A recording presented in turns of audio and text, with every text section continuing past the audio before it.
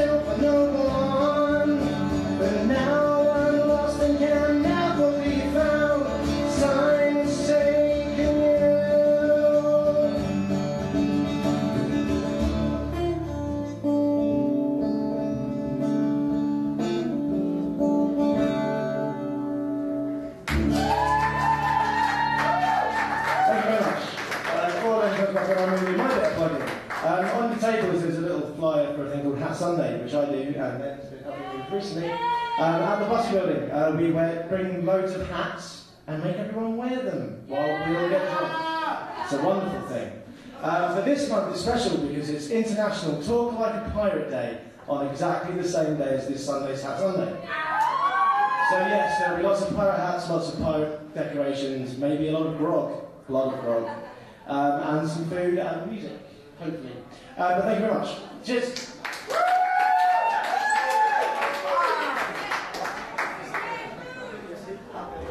Ladies and gentlemen, can we please hear once more for Mr. Hat